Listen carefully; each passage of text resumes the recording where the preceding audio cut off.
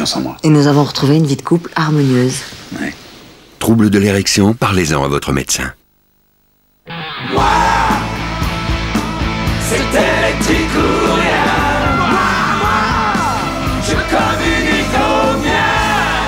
Voler Bubendorf. Électrique ou rien Le stress vous mène la vie dure Réagissez avec Sédatif PC. Retrouvez votre calme. Sans accoutumance, Sédatif PC est un médicament homéopathique des laboratoires Boiron.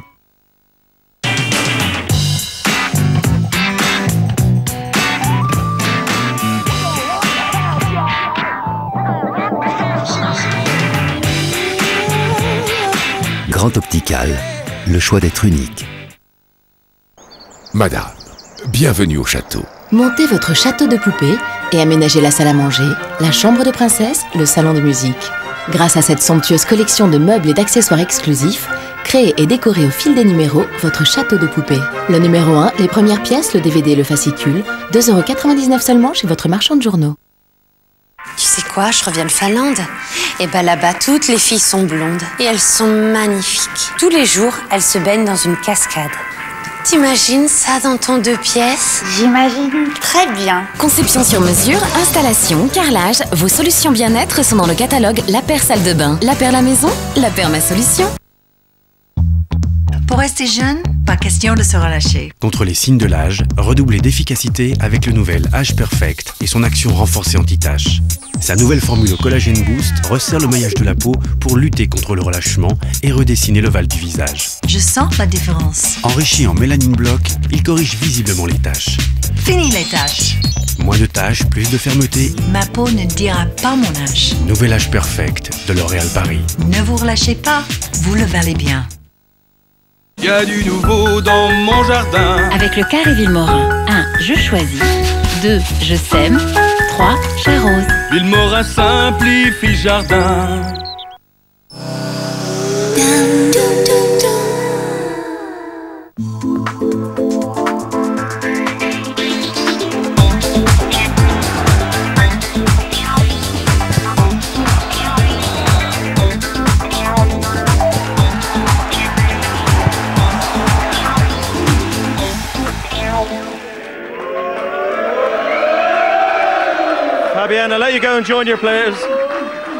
C'était hier après-midi, le 15 de France a décroché le 23e tournoi de son histoire, son 15e sans Grand Chelem.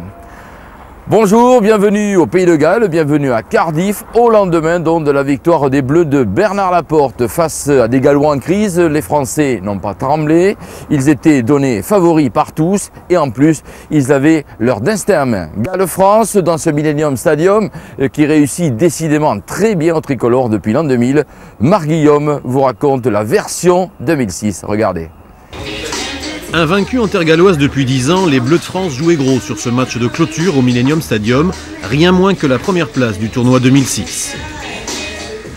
Vexés par l'affront subi face à l'Italie 8 jours plus tôt, les Diables Rouges vont signer une féroce entame de match dans le sillage de leur demi-mêlée poisson-pilote, Michael Phillips.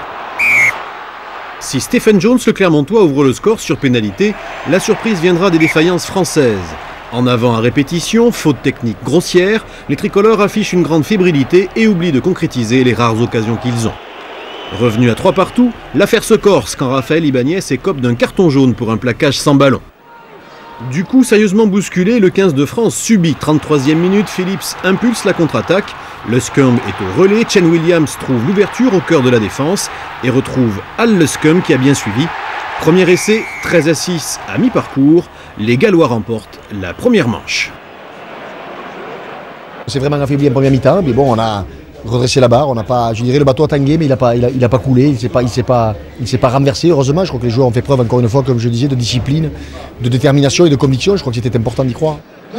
Cédric Emmans, Dimitri Zarzewski, Jean-Baptiste Elissalde, dès la reprise, le 15 de France procède à plusieurs changements tactiques. Après deux ratés sur pénalité, les Bleus trouvent enfin la solution grâce à ce coup de force de leurs avants sur pénal touche. Zarzewski, le talonneur parisien, s'offre un deuxième essai international. Les supporters français retrouvent de la voix à Cardiff. Gavin Henson, l'enfant terrible du rugby gallois, a converti une pénalité quand Frédéric Michalak, lui souvent critiqué, sauve la patrie sur ce rush de Chen Williams.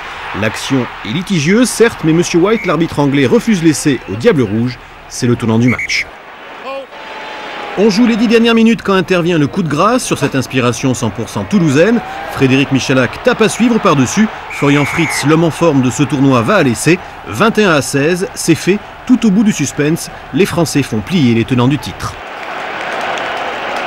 À 10 minutes de la fin, euh, ça leur fait très très mal, mais bon, euh, après on a su, on a su euh, tenir ce score justement, marquer une pénalité de plus, on ne s'est pas affolé, on a joué chez eux. Et bon, même si on a vu qu'ils ont continué à attaquer jusqu'à la fin et que ça n'a pas été facile de, de, défendre ce score. On va pouvoir continuer à travailler de la sérénité. Euh, petit bémol, ben voilà, en Écosse, euh, on aurait pu faire le Grand Chelem, mais bon voilà, c'est comme ça. Maintenant, eh ben, il va falloir se remettre à travailler et, euh, et toujours garder cette sérénité et engranger les matchs et les victoires pour l'événement qu'on connaît tous à Coupe du Monde.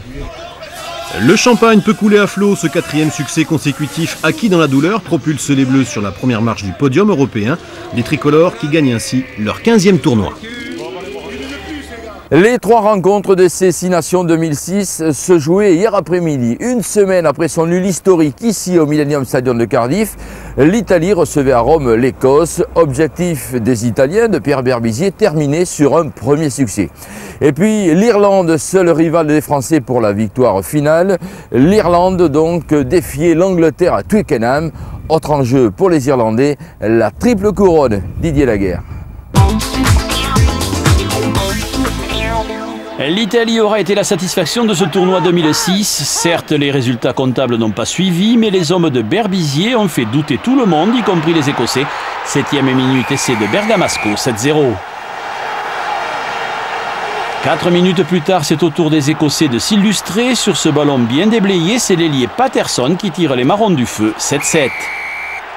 10-10 à la 78e minute, Patterson à la gagne au bout du pied. Il donne la victoire à l'Écosse 13-10. L'Écosse, seul adversaire à avoir fait trébucher la France. Au coup d'envoi, l'Irlande peut encore gagner le tournoi, mais il faudrait un miracle, marquer plus de 30 points aux Anglais. Tâche d'autant plus insurmontable que ce sont les Anglais justement qui ouvrent le score par le trois quarts centre Noon. La réplique ne se fait pas attendre et cinq minutes plus tard, ce sont les Irlandais qui entament leur remontée. Essai de Organe sur ce magistral loupé. Le reste appartiendra au buteur. 11-8 pour l'Irlande à mi-parcours. 52e minute, l'Angleterre donne le sentiment de pouvoir inverser la tendance. Essai de Bordwick sous les poteaux. Six minutes plus tard, l'Irlande se relance par cet essai gag, fond de touche sur lequel le troisième ligne centre Limi joue les opportunistes. Au ralenti, il n'y a pas photo, le joueur irlandais a bel et bien aplati, mais c'est l'Angleterre qui mène 24-21. À une minute de la fin du temps réglementaire, la persévérance irlandaise est récompensée, l'ailier Organ passe en force, la vidéo sera formelle et c'est validé. L'Irlande l'emporte en Angleterre 28-24.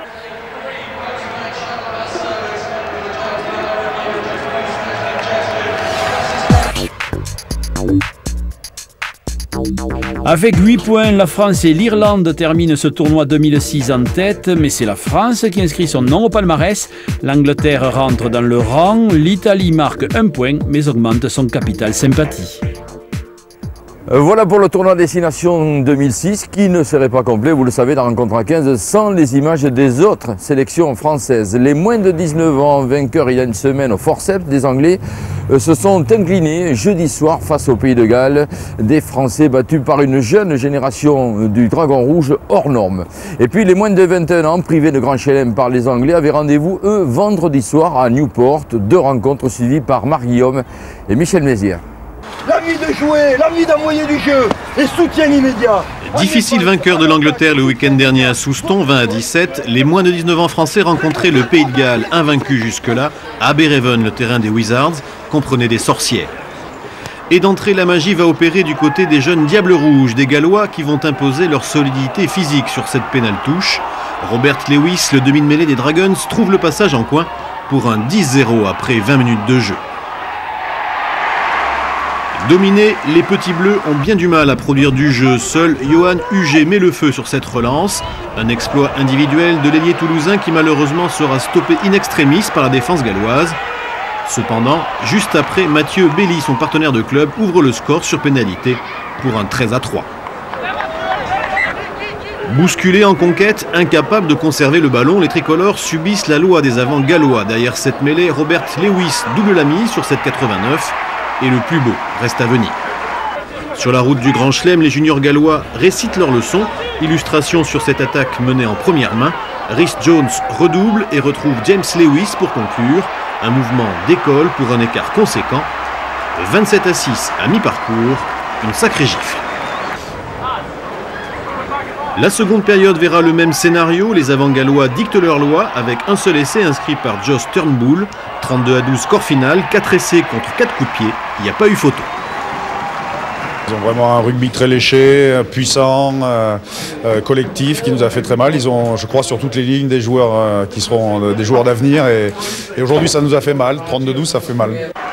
Si les Gallois tiennent une génération exceptionnelle, les tricolores, eux, s'enfoncent dans le doute à trois semaines seulement de l'ouverture de la Coupe du Monde Junior de Dubaï.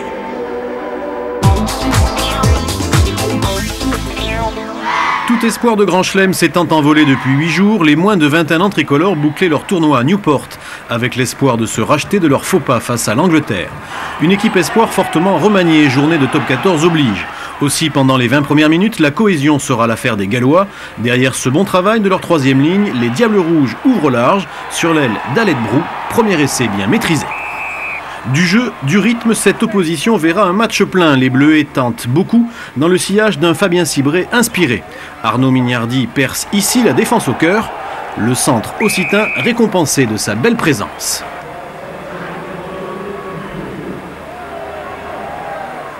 La France prend les devants au score 7 à 5, mais pendant très peu de temps. En effet, David Flanagan rajoute 3 points au pied sur pénalité pour un score très serré à mi-parcours, 8 à 7. Le second acte verra la domination tricolore se concrétiser. Arnaud Mignardi accélère le long de la touche, mais sa passe trouve personne. Dommage, une occasion d'essai vient de s'envoler pour la troupe d'Émile Tamac. Le deuxième essai des moins de 21 ans français naîtra sur ce ballon porté. Le pack s'organise. Guilhem Guirado, lui, ne se pose aucune question. Le talonneur de l'USAP signe un tout droit synonyme de victoire. 17 à 8, score final. Les Bleus et se rassurent. Un tournoi un peu, on va pas dire achevé parce qu'on aurait pu faire un grand chelem, on avait l'occasion en battant ces Anglais. Mais bon, euh, je préfère perdre un match, euh, un match pendant le tournoi et être champion du monde. En effet, les moins de 21 ans doivent maintenant se préparer à un tout autre challenge, bien figuré dans leur mondial, organisé pour la première fois en France, en Auvergne, en juin prochain. L'escroc est le retour, pas sur les terrains qu'il a quitté dans les années 90, mais dans Rencontre à 15. Jean-Baptiste Lafont, l'escroc, c'est ainsi qu'il se définissait lui-même, arrière ou ailier, amoureux du bon vin et du beau jeu, couronné avec le Racing Club de France et le 15 de France. Jean-Baptiste Lafont s'est confié à Guillaume et Michel Mézières.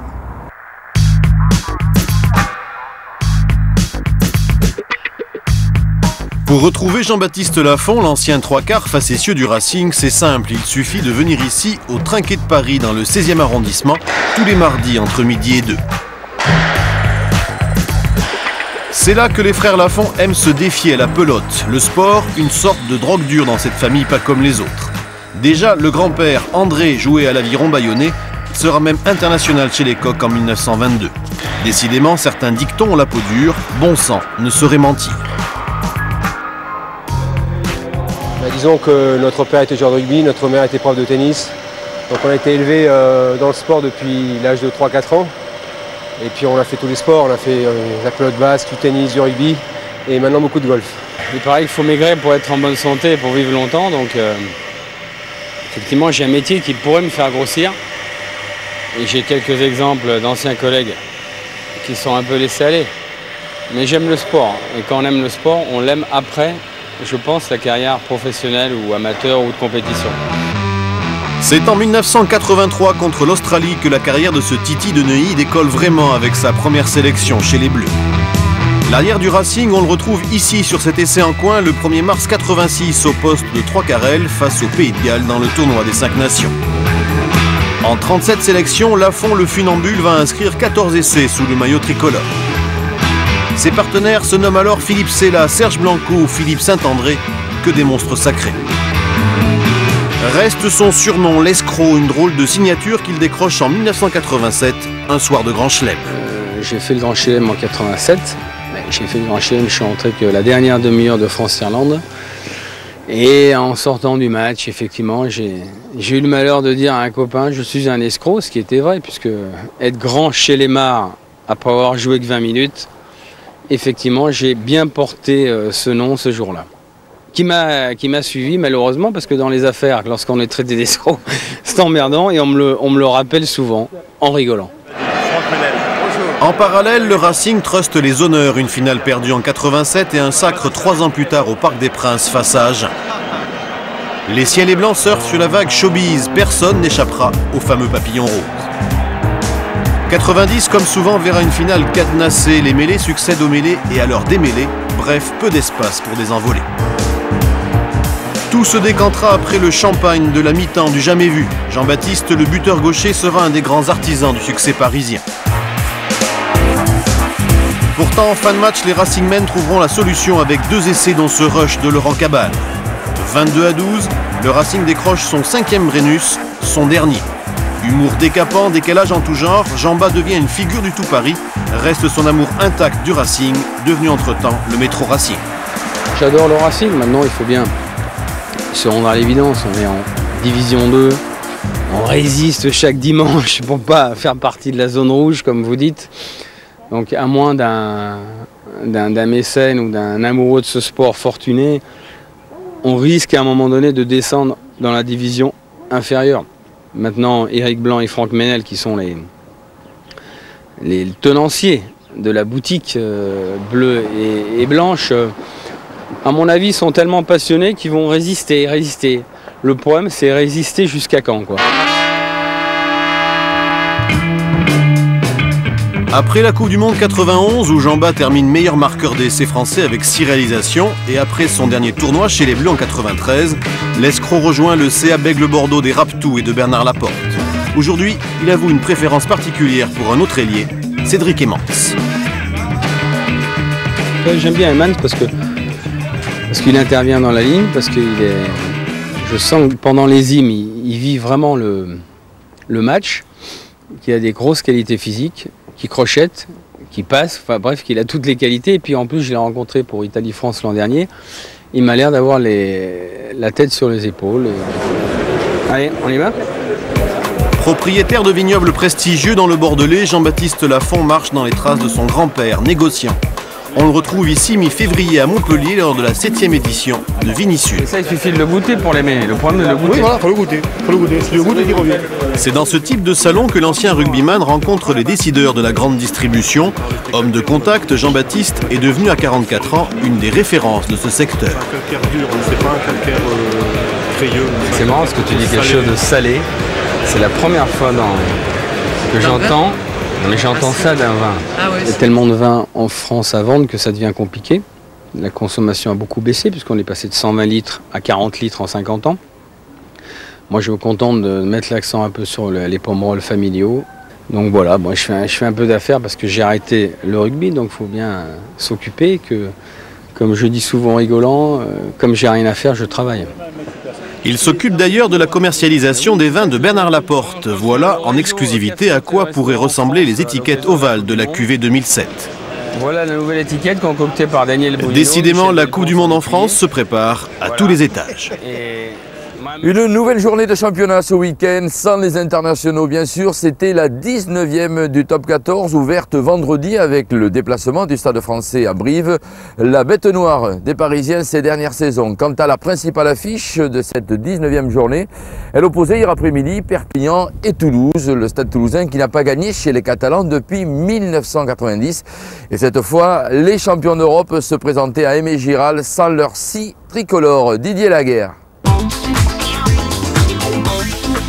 Beaucoup d'émotions pour Alain Penaud qui retrouve son jardin, celui du CA Brive-Corrèze, mais pas de sentiment. Deuxième minute, les Parisiens se lancent à l'offensive. En boudel, Julien Sobade prend les défenseurs de vitesse. Le stade français mène rapidement 7-0. Paris qui multiplie les temps de jeu. David Scrella repique intérieur pour un deuxième essai. À la mi-temps, 29 pour Brive, 9 points de Maxime Petitjean. En seconde période, même scénario ou presque. Dans le cas présent, c'est Juan Hernandez qui adresse une passe au pied millimétré. Essai de Geoffroy Messina, 25-15. Alain Penaud se rappelle au bon souvenir de ses supporters avec ce drop. Brive méritait bien de sauver l'honneur. Ce sera chose faite à la 67e minute. Avec ce bel essai de l'ailier Martin Bottini, Paris s'impose 28-22.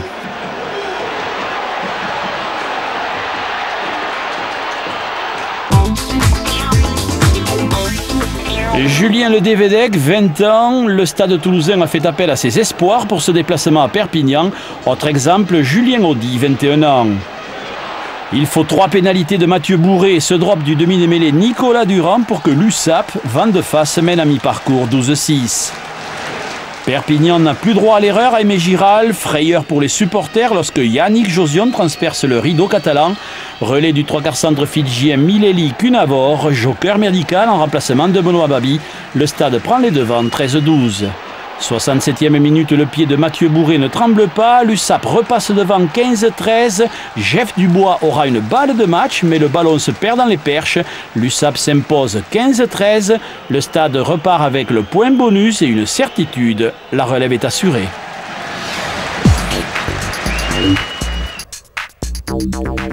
Deux victoires à l'extérieur, celle du Stade français à Brive et celle plus attendue de Bourgoin à Toulon. Large victoire d'Agen face à Clermont, Biarritz plus laborieux contre Castres. Chez les mal classés, les recevants l'ont emporté. Pau revient avec le point du bonus de Montpellier. Au classement, 5 équipes dans un mouchoir de Biarritz à Bourgoin, faites vos jeux. Castres est mathématiquement décroché. En bas de tableau, Montpellier, un match en moins, respire. Pau endosse la panoplie de relégables.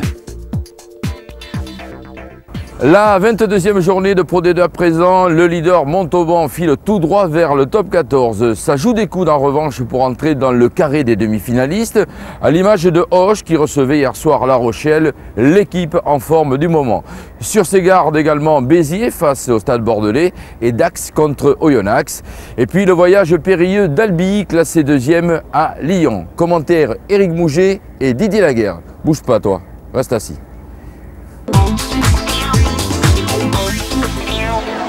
Les années se suivent et ne se ressemblent pas. Cette saison, Lyon, la bête noire des Tarnais, est resté figé dans sa tanière. À la 20e minute, Pierre Sabi s'échappe. Dimitri Sogno signe le premier essai albigeois. Lyon réagit en seconde période, mais pas suffisamment. Après deux cartons jaunes, Albi se retrouve à 13, ce qui n'empêche pas Timothy Borer de clouer le Lyon Olympique Universitaire à son tableau de chasse, 23 à 9. Deux défaites consécutives face à des rivaux directs, Béziers doit impérativement s'imposer face à Bordeaux. 7 minutes de jeu, 7 minutes de domination bitéroise et Bordeaux en blanc s'incline pour la première fois. Le talonneur Jean-Philippe Bonrepos franchit la ligne d'essai bordelaise, un essai bitérois qui a le mérite d'aiguillonner les visiteurs. Bordeaux s'installe dans la moitié bitéroise et 4 minutes plus tard, l'égalisation est signée Nicolas Agar, le trois carrel girondin. Bordeaux double la mise à peine deux minutes après son premier essai par l'autre trois carrel Damien Mathieu. Surprise, à la pause, Bordeaux vire en tête 18-13. Au retour des vestiaires, si les intentions sont bitéroises, la défense est bordelaise, l'envie aussi. Même réduit à 13 pendant un quart d'heure, Bordeaux tient le choc. Mais Béziers passe en tête à 22-21 sur pénalité. Insuffisant toutefois pour l'emporter. Bordeaux réplique par des groupés pénétrants qui mettent Béziers à la faute. Par deux fois, Damien Mathieu aggrave le tableau d'affichage face à des bitérois impuissants. La victoire bordelaise 27 à 22 est logique. Pour Béziers, c'est la soupe à la grimace, une déception amère et une grosse colère pour Olivier Saïssé. On est nul, c'est pas compliqué. Quand vous avez des mecs sur le terrain qui veulent pas s'engager, qui font preuve d'aucune agressivité et qui en même temps se prennent pour les joueurs du Super 14, et eh voilà le résultat. Les Landais se sont régalés au stade Maurice Boyau. 4 essais et pas des moindres. 56e minute, le demi d'ouverture, Mathieu Maillard prend le trou, crochette, un diable rouge passe, Oyonnax ne peut le stopper. Le plus bel essai de la rencontre, les trois quarts d'Aqua attaquent de leur 22, Le long de la ligne de touche, le jeune centre Ludovic Courtade file, se débarrasse de tout ce qui se trouve devant son sillage, remet à l'intérieur pour Florian Angèle, qui n'a plus qu'à aplatir entre les poteaux. Victoire d'Aquoise sans appel. Les garçons d'Oyonax retournent dans l'un sans un poids dans les bagages. Dax l'emporte 37-0.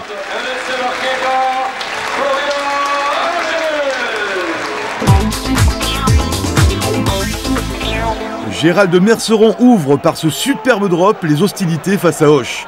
L'ex-international a été impérial durant toute la rencontre. À la 22e minute, les Gersois campent dans les 22 Rochelais. Effort récompensé, l'arbitre accorde un essai de pénalisation aux locaux. Il y a encore du Merceron dans l'air, il ajuste et passe son second drop de la soirée. Anthony Lagardère, l'ouvreur occitan, permet aux siens de mener d'un point 19 à la pause. 43e minute, Lagardère passe un drop. Le troisième ligne de La Rochelle, Carmignani, prend un carton jaune pour faute technique. Hoche en profite, ils conservent mieux le ballon et vont inscrire un essai collectif à la 57e minute, portant la marque 18 à 12. Plus envieux, les Rochelais font le jeu, attaque des trois quarts et Bertrand Aurignac signe l'exploit. 19-18, un point suffit pour le bonheur charentais en Targasconne. C'est vrai une, une belle victoire, mais il y a quand même un petit peu d'amertume parce que on répète trop souvent qu'on est, qu'on est indiscipliné, on l'approuve aujourd'hui. Mais enfin bon, on peut quand même euh, on peut, on peut se réjouir de, de ce qu'on a fait. Oyonnax rentre bredouille de Dax. Un point suffit à La Rochelle pour créer la surprise à Hoche. Deuxième surprise, Béziers sur sa pelouse laisse la victoire au Stade Bordelais. Albi mange du lion. Pas de souci à Sapiac pour Montauban, le dauphin albigeois se positionne, les Dacois prennent la troisième place au Biterrois, le malaise se dessine pour Aurillac, Pays d'Aix et Tyros. La Pro D2, le top 14 le week-end prochain. Et puis dans 15 jours, les quarts de finale de la Coupe d'Europe avec, vous le savez, trois équipes françaises qualifiées, Biarritz, Perpignan et Toulouse. Le tournoi destination se termine et vous l'avez compris, pas le temps de souffler pour personne. Quant au 15 de France, nous le retrouverons au mois de juin pour une tournée en Roumanie et en Afrique du Sud. Allez, on se quitte au cœur de la baie de Cardiff. N'oubliez pas, demain, c'est l'arrivée du printemps. D'ici là, bon dimanche. Salut.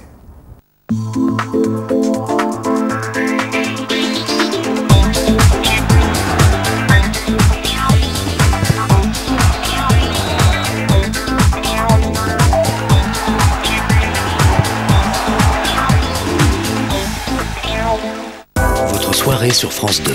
Jack Malone et sa suite engagent les recherches pour deux nouvelles disparitions. Puis Christophe Ondelat démêle les nœuds de l'affaire Kamel Benbara. France 2. FBI portez disparu et faites entrer l'accusé. Et n'oubliez pas, le réel a maintenant son polar. Préjudice du lundi au vendredi à 18h.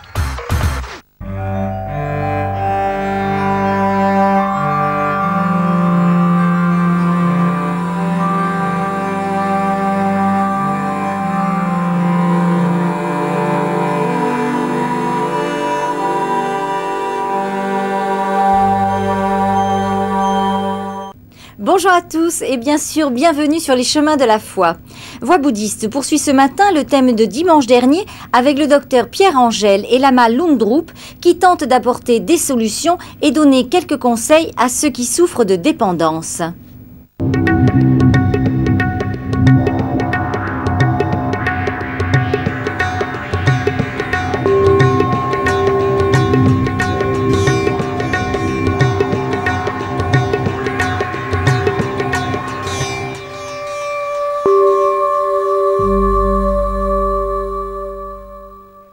Bonjour, bonjour à tous. Nous retrouvons nos deux invités de dimanche dernier pour parler des comportements addictifs, car ce sujet essentiel concerne non seulement notre bien-être au quotidien, mais aussi notre évolution sur une voie spirituelle. Car comment, en effet, être libre et serein alors que nous dépendons pour vivre de substances ou d'états mentaux? Euh, Pierre-Angèle, euh, bonjour. Bonjour. Alors vous êtes, euh, je disais déjà dimanche, mais je le répète parce que c'est vrai, un pionnier dans bien des domaines des sciences cognitives en France. Euh, c'est par exemple grâce à vous que on connaît les thérapies familiales dans notre pays, puisque c'est des techniques, des connaissances que vous avez on peut dire. hein. Et euh, vous dirigez le centre euh, de thérapie familiale Monceau, où vous recevez notamment, parce que c'est pas que ça évidemment, beaucoup de familles de toxicomanes, puisque les thérapies familiales euh, prennent en compte l'ensemble de la famille. Euh, je fait, crois. hein. oui.